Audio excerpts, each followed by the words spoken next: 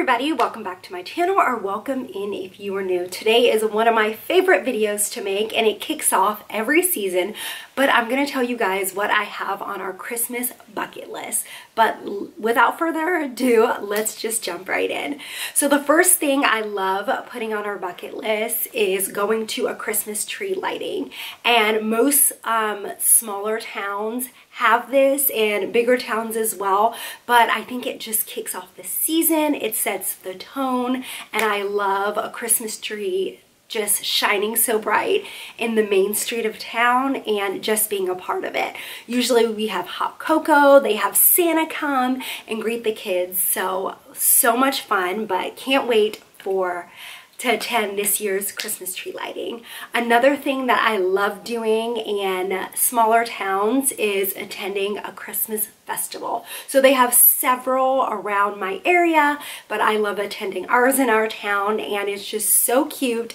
Um, typically they have pictures with Santa, cookie decorating, some kind of art activity, but it's just a whole bunch of fun and a whole bunch of local vendors um, that you can support in your town. So loving a Christmas festival. The next one is checking out holiday books. This also sets the tone for the Christmas season. I will typically switch over our books um, after Thanksgiving to reflect all the Christmas cheer, some of our favorites. And I just love going to the library and picking out those special books to add to our collection. Another thing is baking a holiday treat. What is Christmas without baking a holiday treat? So either it be cookies, cupcakes, a special holiday cake, but I love doing this and it's just fun to do with your littles and to do as a family. The next one is um, go to see the Nutcracker. And this is something we already have the tickets. So we are going to be attending the Nutcracker this year. And I am so excited. Um, this will be my daughter. She's six, her first ballet. So it should be super exciting. But go to see the Nutcracker. It's on our list.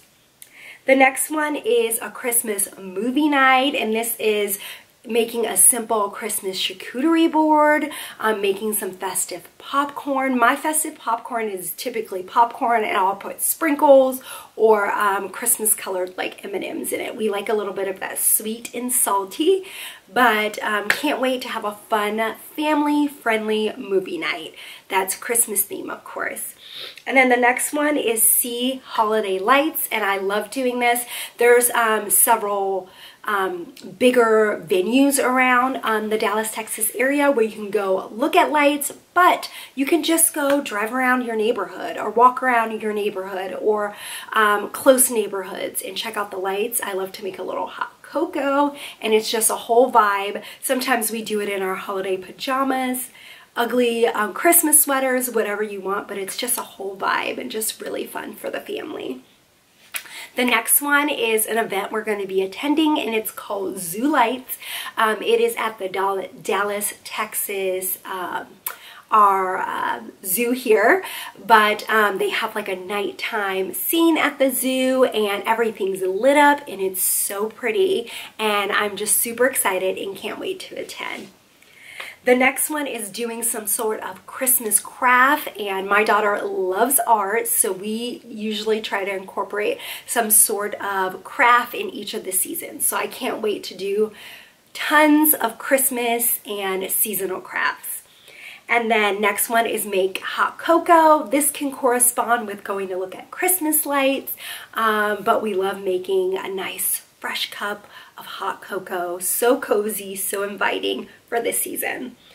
Um, next, we have a Christmas, the capital, Christmas capital of Texas is in Grapevine. So I'm super excited to check that out this year. We didn't get to go last year, but I heard they have, it is decked out for Christmas.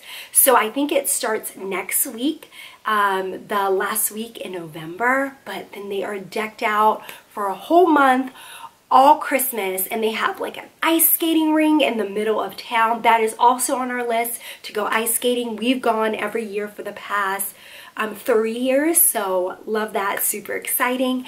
But yes, can't wait to go to Grapevine and check out our Texas Christmas capital. Um, And then the next one is to decorate seasonal cookies. This can go hand in hand with baking a treat, but we're actually going to be having a little get together with friends and their children with some of our wonderful families that we've met here in the Dallas, Texas area. And I'm so excited for one of the activities I'm going to do with the kiddos is they're going to decorate some sugar cookies all seasonally and all prepped out for Christmas. And then one of the last thing on our list, and we do this every year, is to make a gingerbread house. And it's just fun, it's nostalgic, and it just brings back all those warm and fuzzy Christmas memories. But that is it, guys. That is our Christmas list, um, our Christmas bucket list. We usually put this, I have an acrylic board that I put this on in our living room, I mean our kitchen, I will link that down below, but uh, my daughter checks off each item as we Uh, do it. Sometimes you don't get to everything because the you know there's only so many weekends in the month and they're usually jam packed. But we try to get to as much as we can. But thank you guys so much for watching.